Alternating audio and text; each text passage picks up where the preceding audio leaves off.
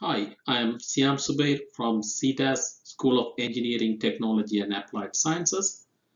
This is an action research presentation for TILI 704. My research question is, how does the spaced learning over time enhance the problem solving ability of students in applied research courses? Action research start with a problem in my case, um, I considered a universal problem to any educators rather than a specific problem to my class. So the problem is forgetting. Um, we all know that um, the retention rate of any lessons is very low. So that's why we um, enhance the activities and the different type of reviews to increase the retention. So this experiment started with 1885 with uh, Hermann Ebbinghaus, a German psychologist who did um, a series of experiments on forgetting curves. He assigned certain nonsense syllables and uh, looked at how effectively people keep those in memory. Surprisingly, within one hour, 50% um, of what we learn is forgotten and 24 hours it drops to 70% loss. And uh, within a week 90% loss. So that means a significant loss. Um, the statistics may not be applicable to all what we teach because we make some connections. So that's why in this equation the memory retention is a function of strength of memory and the time. The strength of memory is a complex um, stuff which includes um, individual um, strength, making connections, uh, the way we organize the data. So um, my um, aim is not to delve into that, coming directly to this, uh, my action research question. So the problem is we forget things and the students do. And how do you reduce that? Now let's talk about how to overcome this forgetfulness. The review is the best way to um, retain the memory. And as you can see in this curve, the blue line represent the normal uh, forgetting curve, which goes up very uh, rapidly uh, going down. But when you revise, the retention rate increases. The more reviews we have, the more retention as you can see um, when the reviews are spaced out we increase our retention. Um, I call it like a booster vaccine theory. Um, we may know that with um, like a Pfizer or Moderna vaccine. We need to have more than one shot because um, when we get the first shot um, the Pfizer vaccines keep around 70% immunity but with the second shot it boosts up to 95%. So similarly, the same way the neurons work when we revise that boost our memory and the retention. So this is what we call the spaced learning. So the spaced learning is not a new thing which has been studied, reviewed over a century. And this has been proved to be true for a long time, different time period and um, across different lifespan, the infants, adults and elderly and even it has been researched in the non-human um, and even invertebrates. So when the space learning um, is um, practiced that increase the retention. The space learning is a widely documented concept and researched multiple times. Then the question is, what's the importance of my research? When I analyzed the literature, the majority of the research were restricted to memory-based experiments. Only a few extend the concept to simple generalization and a little bit more on the complex generalization. In one of the experiments on the complex generalization, the school students were given some quizzes on the food web and how they relate, relate the concept of food web and food pyramid to different biomes were researched. In my cases, uh, more problem-based approach is needed in the microbiology research as you can see in the picture, uh, a, a key that we use may have multiple microbes. So there are so much of problems and how do we solve the problems? So these are part of the uh, concept we experiment during the the research pro projects. So I will be using this space learning um, and to see how that help to enhance the problem solving skills in my research course. My action research was restricted to microbiology project to winter 2021. Uh, this is the first independent research project in microbiology. Um, it included um, 66 students from three sections and mostly international and female students. Um, the experiment typically would have two trials. In the first trial, they would do a set of experiments in the lab. And the second trial, they improve uh, with a problem-based approach with more scientific robustness in trial two. But uh, we have a change to the existing um, approach because of the lab closure. Um, the the course was made fully online.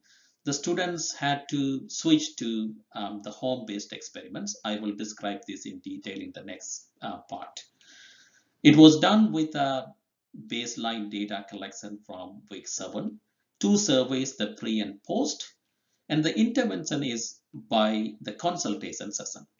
We usually have a regular consultation session which is in week 2 that's the time the students get into the group they work in pairs and um, brainstorm the topics and get the approval for the topic. That's a mandatory session which is not part of the research which is a regular teaching practice so this research include an optional um, session which is the participator is uh, voluntary um, in this um, consultation session we analyzed or discussed the trial one results and experimentation in the light of scientific concept. So the generally the scientific concept are all delivered in the first three to four weeks. Now it is repeated. Um, it is not exactly the same repetition, but repeat, repeated in a more applied way um, in context with their own research. So that was a personal consultation sessions um, around um, 15 to 20 minutes long and the students um, come with um, online Zoom meeting and uh, we discuss together and they uh, uh, they come up with their own ideas and we extend their ideas. So that was the intervention and the data collection um, um, is related to the assignments and the uh, field notes. Before moving on, I just want to show you how the microbiology project 2 looks like. Um, as you can see in the picture, it is uh, full of biohazard and uh, you can also see some live microbes um, uh, which are which you can see the moving around. So, but um, this is not the case for this semester because of the lab closure. So this experiment is fully supervised because of the risk and health hazard but the home-based experiments was um, independent. The students did all along.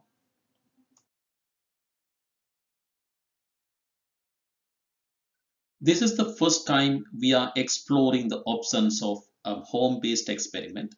The safety is paramount and uh, we selected only the project which um, satisfies the safety. As you can see, some of the fermented uh, fermentation experiments with balloons, the compost experiments, plants with uh, microbial um, solutions um, and some of the electrodes and uh, the microbial fuel cells. So these are unsupervised. They have a limited resources. They pick up from the lab and uh, do the rest of the experiments at home. It is um, completely they are doing in their own. So there are no regular feedbacks going on to them. So this is a big challenge um, and uh, it is somewhat less scientific. So the only way um, we communicate uh, or assess what's going on is by two assessment. The one is uh, the GLP practice or the record keeping. They record everything on a Google Sheet and, uh, and to communicate with us. The second is video log. The video logs, they record everything they do and send it or submit it um, in the Dropbox. My data collection is straightforward. Um, it includes artifacts, inquiry data, and observational field notes. For the artifacts, um, I considered two assessment, both summative assessment. the record keeping, which accounts for a total of 10%, um, um, which represent two assessment, uh, one each for trial one and uh, trial two. And similarly, the video log, which um, correspond to 20% of the grade, um, that's for the trial one and trial two. They need to do two um, uploads. Um, I consider those marks grades. The inquiry data, which uh, included two surveys, um, one um, at the end of trial one, which is the pre-survey, and the post-survey at the end of trial two. The observational data is a little bit complex, which includes students' participation, uh, peer review, how they interact with the group, and uh, how they contribute. So a little bit complex, and um, I address that at the observational data separately. Let's talk about the results. The summative assessments I considered were very similar. The GLP 1 and 2, which represent um, good laboratory practice, where the students will record um, all the details in a scientific way. So they have to do two times for the trial 1 and trial 2. Um, in this case, you can see the, the orange one represent the second part, that's after the consultation session, and the blue represent the pre, which is the trial one. There is a big difference in the grade distribution. In the higher grades, uh, we can see the orange, which is the trial two dominates. That means there is an increase in um, trial two. And similarly, in video log 1 and video log 2, which corresponded to two trials, um, the higher grades are dominated by video log 2, which is uh, the post assessment. So after the intervention, the grades have increased. So which is quite um, remarkable. As you can see in this graph, the results for both GLP and video log have increased uh, from trial 1 to trial 2. But um, is it a random or it is more scientific? Then we need to move to the statistics.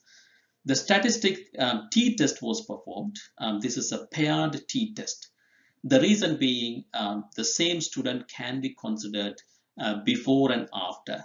Um, although the names were not included, the total, um, the average was included. So for the, the GLP, um, the paired t-test was highly significant and the video log was very highly significant. You can also see um, there is a big change in the error bar. So the, the, the range of um, the error was very high in the pre-test, which is corresponding the trial one.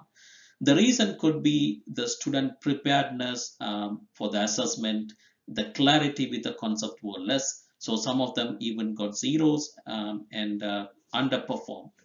And the second one, the trial two, there is a less error so which also indicates the students understanding is getting better. One of the problems in my action research was there's no control group. Um, the consultation was offered to the whole um, 66 students. Um, although 27% um, participated. The reason was um, we don't want to single out um, or deprive the opportunity of consultation to any group so in that case, um, we don't know exactly the effect of higher results is due to the consultation session or not. So one way to double check this with a triangulation with the validity of multiple um, source of data. So this source come from the student survey. Um, as you can see um, in the blue graph, the excellent um, was not ticked by any student. That means when they did the trial one, they evaluated their rate of problem solving as low. But after trial two, um, there is a higher in the excellent. You can also see in this, um, there is an increase um, rate after the consultation session. Um, the excellent part increased in the previous, um, before or pre-trial, um, there was a less problem solving ability. So on overall, there was a 20 22% increase in their problem solving ability based on how students perceived. Now let's move on to how students evaluated the consultation session. Almost all students um, rated which is effective or highly effective, which is great. They all valued um, the consultation session. And the descriptive analysis include multiple comments. Um, I have included a few. The consultation um, sessions were the reasons we were able to do the project. Um, and there is also a comment that um, the 20 minutes is not enough. It needs to be incre increased, which is a valid comment. But because of the timing for many groups um, in the middle of the, the busiest part, uh, busiest semester, the time was limited. But uh, definitely that's a comment we have to consider for the future consultation. Now let's move on to the learning preferences.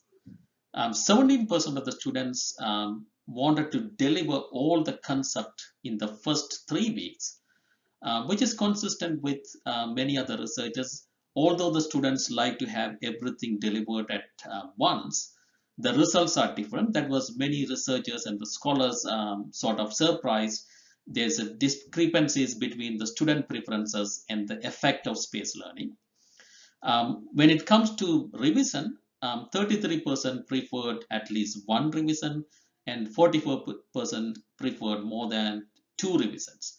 So altogether, 77% preferred at least one revisions.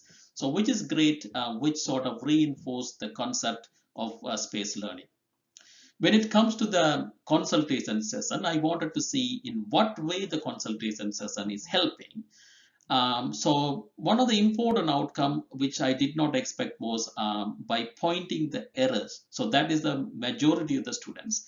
Because when we discuss in the consultation session, I could easily identify the errors in their concept and the way of thinking and put them in the right track, which I did not consider, but with the student survey, that was become evident. So that's a good message for me um, and to the scientific community. The linking the concept, um, the basic concept we discussed in the first three weeks, so 28% preferred, that's the, the, the, the best help from this consultation. And some preferred, 28% preferred the consultation session extended um, little bit beyond um, the concept and linking to further ideas. So overall, um, this uh, survey provided a valuable in-depth information.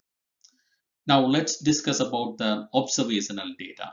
So this is the most complex of all because uh, the observation comes from multiple sources uh, during the online Zoom meeting, um, during the email questions, the time they um, um, view the e-centennial messages and uh, discussion forum, um, the time they spend with the group work um, and the quality of the group work, um, and the draft they submit um, and the group dynamics, there are multiple array of uh, student contribution which determine the problem solving. And again, the problem solving is a complex uh, criteria to analyze. So I use some of the definitions which were used, um, the organizing, synthesizing, generalizing, relating, identifying the problems uh, which were taken from the multiple sources and integrated into the field notes. As I discussed before, the field data or the class observation is one of the hardest to quantify. Um, as a checklist, we can easily say how many students um, attended or how many students uh, did the peer review or how effective the group work is. But um, obviously, the chat is different from the peer review. Anyone can do a simple chat.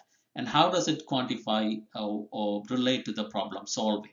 So there are differences um, in the different ways they um, communicate, the ways they approach the problem solving. So I had an idea of using one of my tools developed for the decision matrix, which I used using a scoring system. For example, the chat is something's uh, lowest level of um, problem solving or communication. The online, um, looking at the resources, getting into the group work and interacting with the group work. The peer review assessing the each partner and the draft they send some work uh, which is documented in a draft folder. And using all these one I sort of managed to um, do a scoring system the which scoring system include a weight for each of those categories and eventually um, I found it the trial 2 was um, higher than the trial 1 which is an indication that um, the interactions and the problem solving has increased based on the class observation. There could be multiple interpretation with um, the scoring system, but at least it is something better than a checklist. As a reflective teacher, I'm looking back uh, based on the Action research. Uh, the findings were quite consistent with the hypothesis. The space learning enhanced the problem solving ability of the students uh, in the research-based courses, which was not clearly documented previously although the problem solving has been documented in certain parts such as mathematics.